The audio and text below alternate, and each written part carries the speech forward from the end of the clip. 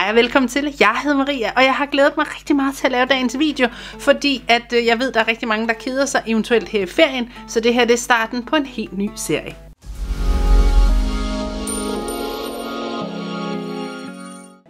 Som sagt, så er den her video starten på en ny serie, hvor jeg laver en masse videoer med gode idéer til, hvad du kan lave. Så videoen bliver rigtig, rigtig blandet, og der kommer til at være meget forskellige i videoerne. Men i dagens video skal vi blandt andet lave det, der hedder jelly sæbe. Og jeg ved, en del kan godt lide Lush, og det er også en rigtig, rigtig fed butik med alle mulige forskellige sæber. Jeg var blandt andet øh, på besøg i Lush, da jeg var i Berlin sidste gang. Jeg linker op i hjørnet. Så i dagens video skal vi prøve at lave deres jelly sæbe. Jeg kommer til at bruge det her gelatine. Det er lavet på øh, gris. Så hvis du ikke må af forskellige årsager have noget at gøre med gris, så er der nogle veganske alternativer. Der skal du bare lige på besøg i en øh, øh, helsekostbutik, eller der, hvor du ellers køber sådan noget. Men jeg har ikke noget problem med det, så det er det, vi bruger i dag. Så skal vi have sådan nogle her forme. Det er sådan nogle silikonforme. Og jeg tror, jeg har købt mine i normal, de her læber. Og så skal vi bruge noget helt almindelig shower gel. Og som sagt, den her har vi brugt mange gange før. Den koster ingenting, men den er så fed farve. Det vi starter med at bruge, det er, at vi skal bruge 5 gram gelatine. Og det svarer til 1,5 teskefuld gelatine. Og så skal vi tage 50 ml varmt vand. Det er super vigtigt, det er varmt vand.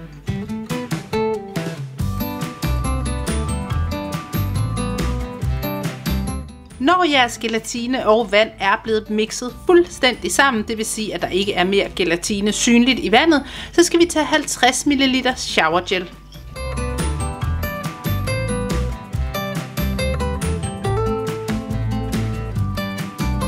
Og inden I er helt færdige, så skal vi lige putte en halv teskefuld fint salt i. Og hvis I vil, så kan I også sagtens putte noget duft i, men øh, min shower gel, den dufter rigtig meget, så det er slet ikke nødvendigt. Nu er det simpelthen bare at hælde den op i de forme, som I godt kunne tænke jer. Ja nu skal I simpelthen bare vente på, at jeres små jellysæber bliver sådan helt hårde og størkner, og så er de klar til brug. Og det kan tage øh, lidt forskellig tid, det kommer an på, hvor koldt du har derhjemme, men øh, cirka i hvert fald 4 timer mindst. Her er så vores øh, små sådan jellysæber. Jeg er fuldstændig vild med dem, og jeg kan rigtig godt lide den her form med de der små læber. Jeg synes, de er virkelig, virkelig søde.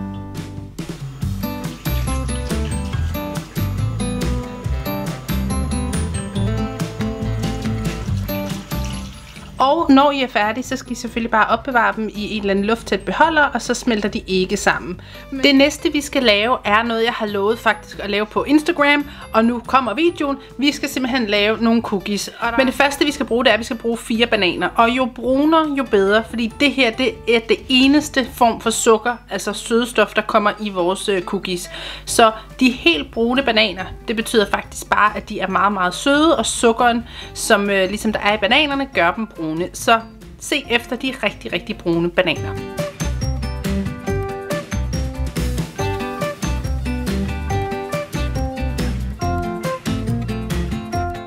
Når I har most fire bananer, så er det tid til at putte en lille smule hakket chokolade i. Det er selvfølgelig helt op til jer, om I har lyst til det, men jeg elsker mørk chokolade. I kan også vælge at putte hakket nødder i, eller Smarties, eller lade være med at putte chokolade i. Jeg synes bare, at banan og chokolade, det passer rigtig godt sammen. Jeg vælger også at putte en teskefuld peanut butter i, fordi det giver bare sådan en rigtig dejlig sødme. Men igen, det er overhovedet ikke nødvendigt, hvis I ikke kan lide eller tåle peanut butter.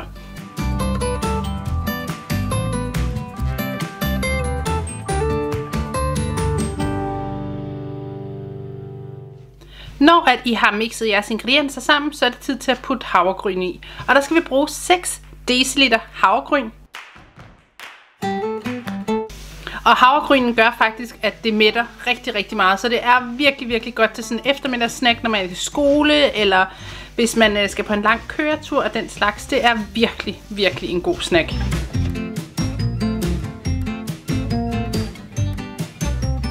Når jeres havregryn er blandet fuldstændig ind med øh, jeres øh, bananer og peanut butter og chokolade, så er det tid til, at vi skal putte det på en bageplade. Det der er med de her cookies, det er, at de ikke flyder ud, og de hæver ikke, fordi der er hverken bagepulver eller natron eller andet i. Så den størrelse, du laver på bagepladen, det er også den størrelse, de er, når de er færdige. Nu skal vores cookies bare ind i ovnen i cirka 10 minutter på 175 grader, og det er varmluftovn.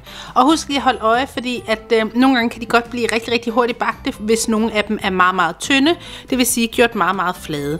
Men øh, det er faktisk det. Det er super let at lave nogle rigtig, rigtig lækre cookies til madpakken, eller hvis man skal på tur. Så øh, lad os komme i gang med et andet projekt. Så er vores øh, cookies kommet ud af ovnen, og de er bare så lækre. Og det er simpelthen fordi, de er helt bløde, og øh, de smager virkelig, virkelig lækkert. Jeg anbefaler, at man opbevarer dem i en pose i køleskabet, og så tager man dem ud sådan et par minutter, inden man skal have dem. Og det er simpelthen fordi, så holder de sig aller, aller bedst. Jeg ved ikke, hvor lang tid de kan holde sig, fordi jeg plejer at komme til at spise alle mine på sådan to dage. Så øh, jeg ved det ikke, men øh, de smager i hvert fald rigtig, rigtig godt. Det næste, vi skal i gang med, det er, at vi skal lave armbånd. Og jeg har vist det før her på kanalen, der lavede jeg blandt andet en uh, mors dag video, hvor vi brugte mørkegrønne perler. Men i dagens video skal vi bruge de her lysgrønne. Og jeg er fuldstændig vild med den her farve, fordi den passer rigtig godt til sommeren, sådan lidt mere friske farver. Og så er den bare meget, meget støde. Rigtig, rigtig fint. Vi kommer også til at bruge øh, de store perler sammen med de her små rokai-perler, og der bruger vi den farve, der hedder sølv. Til at putte vores øh, perler på, der kommer jeg til at bruge det, der hedder flextråd. Jeg har fået et par henvendelser fra folk, der siger, at deres knækker. Men det er simpelthen fordi, at det ikke er meningen, at det skal være ligesom elastik. Det vil sige, det der elastik, du bare kan trække fra hinanden rigtig, rigtig øh, langt, uden at det knækker. Det her, det er simpelthen sådan noget professionelt smykke øh, flextråd. Den har en lille smule elastik i sig, men det er vigtigt, du laver dit armbånd den rigtige størrelse, så det ikke knækker. Og den her har jeg både i sort og i gennemsigtig på webshoppen, men vi skal bare bruge den sorte. Det fede ved at bruge flextråd, det er, at du ikke behøver at bruge en nål. Fordi denne her snor, den flosser ikke, og den er super, super spids, så det er intet problem at øh, sørge for, at perlerne kommer på snoren. I de her perler, der får du to forskellige nuancer af den lysgrønne. Du får sådan en lidt mere sådan gennemsigtig støvet glasfarve lysgrøn, og så får du en helt almindelig sådan helt øh, gennemfarvet lysgrøn. Du kan vælge at blande dem, som du vil, eller lave et lille mønster.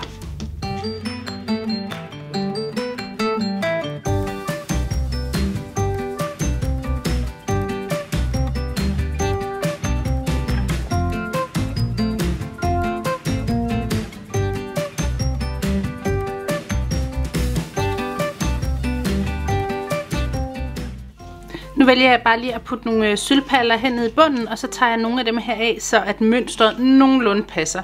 Men øh, jeg er fuldstændig vild med den her farvekombination af det sølv og de her grønne nuancer. Jeg synes simpelthen, det er så fint. Og det vil være helt oplagt, hvis man øh, for eksempel havde en smykkeshop, og så lave alle mulige fine smykker med det her, fordi det er bare noget, alle kan bruge. Den perle, vi startede med at putte på i starten og ligesom binde en knude på, den har jeg bundet op. Så nu er det simpelthen bare at samle vores armbånd. Her er, her er det færdige resultat, og jeg er helt vild med det. Jeg synes, det ser så fedt ud. Og I kan selvfølgelig gøre lige, hvad I vil, også hvis I gerne vil gøre noget andet ved knuden. Men øh, jeg er ikke så interesseret i at gøre så meget mere end det, fordi at øh, det bliver skjult, når der kommer mange andre armbånd på. Men øh, det her, det var endnu en idé til, hvad du kan lave, når du keder dig. Lad os komme i gang med næste idé. Den sidste ting, vi skal lave, det er, at vi skal lave sådan nogle små magneter med sådan nogle perler på en perleplade. Og det er nok noget af det mest hyggeligste at lave, fordi at det er lige meget, hvordan vejret er, og alle har som regel sådan nogle perleplader, og som regel også nogle perler. Så det vi skal bruge, det er, at vi skal bruge sådan her hjerteform. Og ja, I ved, hvordan man laver perleplader. I simpelthen bare putter dem på, og når at øh, mønstret er færdigt, så stryger I dem. Og øh, ja, det var til jer, som måske ikke helt ved, hvordan man gør. Men lad os komme i gang med at lave en fin is.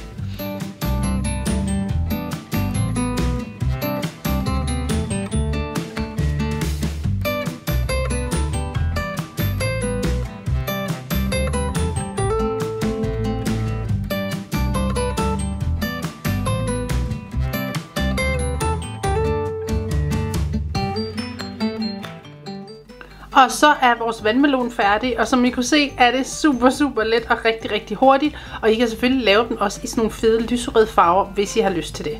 Men nu er vores to små perleplader blevet øh, strøget, og de er helt klar. Jeg kom lige noget brun på her, som smeltede, og jeg ved faktisk ikke engang, hvad det er, men det skete, da jeg ligesom strøg den. Jeg har fundet sådan en rigtig øh, ispind her, som jeg vil lime på, for jeg elsker, når man blander de forskellige materialer sammen. Men I kan selvfølgelig også lave den i perler, hvis I gerne vil det. Derefter så er det simpelthen bare at putte en magnet bagpå, og så er det klar til brug.